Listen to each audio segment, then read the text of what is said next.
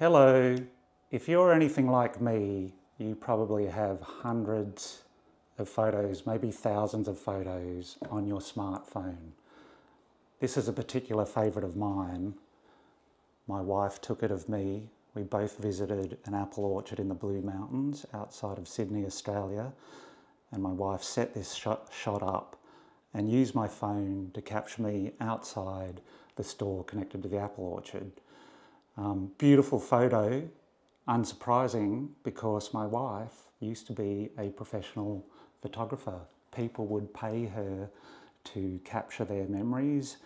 Usually, when their children were young, she would present photos to them.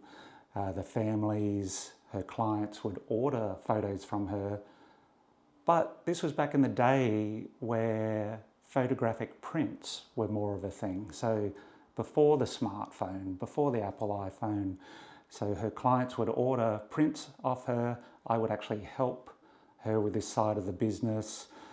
We would get the photo photos printed. First, uh, it was film. The film would be scanned. Then we'd print the file. Then she had a digital camera. We would still print the file. They would come back as photographic prints. Uh, we would then send them to the framer. So all the work, all the talent my wife had on display would actually turn into a physical artifact that her client could hang on the wall um, for them to enjoy, for friends, family, extended family to enjoy. But I guess it was in 2007 when the iPhone was released and it had a decent camera, people weren't so they weren't so interested in engaging the services of a professional photographer because, you know, they could take half decent pics themselves with their smartphone. But what happened is all these memories people were collecting no longer became physical artifacts like the framed prints my wife would give to clients. So if something happens to your phone, you drop it or you lose it, um, and all your memories are on there, uh, you can't retrieve them. They're gone forever. So, once again, this photo, my wife did such a good job of it, and she actually recommended to me, you know, could we get it printed? Could we get it framed? And I had a look around, I did a search on the internet, and I was surprised to find that there are a lot more options today to turn a digital image into a physical artifact. Um, there's more available than just simply prints or frame prints on the wall. So we took this image and turned it into a physical artifact. Here it is. The photo is uh, printed on the back of a big block of acrylic. And now this great image, which before this was created only existed as a file on my smartphone is now a physical artifact It's going to be around long after I'm gone, I think. So that's something I would actually recommend to you is go through your phone and think about some of your favourite photos and look at turning them into physical art artifacts. I mean, it doesn't have to be a big block of acrylic. It, it could simply be something on photographic paper that you put uh, in a desk frame because photographic paper will probably last longer than your phone. Now, maybe you won't lose your phone or you won't drop it or break it. Or I can hear some objections, Tim, but you know, my photos aren't just on my phone. I've uploaded them to the cloud. I've uploaded them to Google Photos. And yeah, well, that is, um, that's another level of protection. But what if the cloud wasn't always there?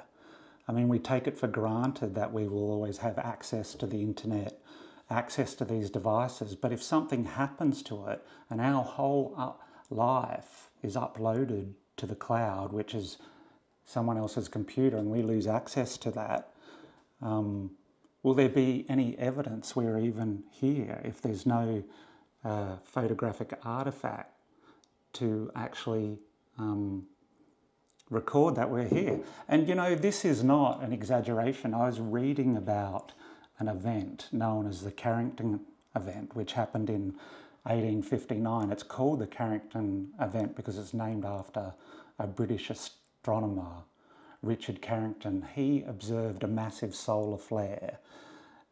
Um, the sun emitted it.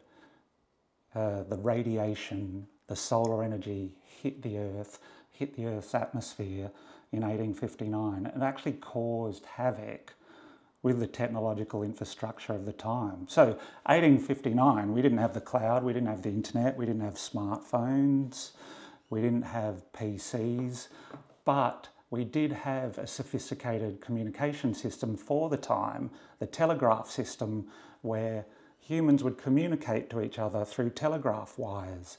Now, the Carrington event, this massive emission of solar energy, actually fried a big chunk of the telegraph infrastructure at the time.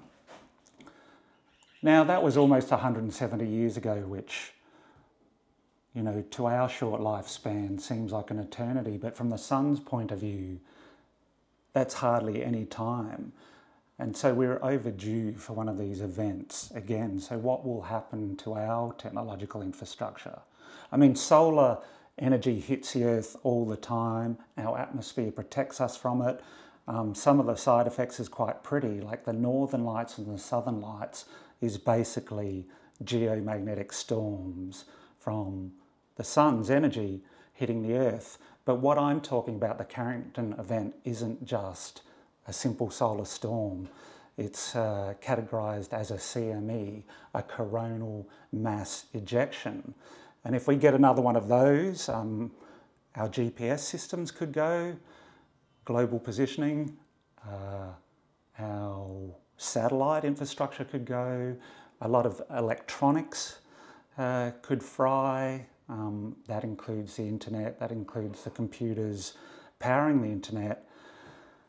And you know, I don't want to be too much of a downer, but why I'm thinking about this is aren't our memories precious? If we've recorded, you know, photos near and dear to us or friends and family, in this case, like my wife has taken a lovely photo, don't we want to uh, turn it into an artifact so it stays around a lot longer than,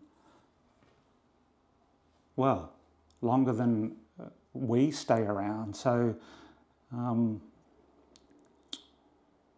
Anyway, I think your memories, I think you owe it to your memories, your family, friends, loved ones, even your descendants to, um, you know, record some happy memories for them that won't um, be on a smartphone or on a hard drive or on someone else's computer. So that's my recommendation to you today. Go through your smartphone, go through your cloud drive and see what precious memories you can turn into a beloved physical artifact.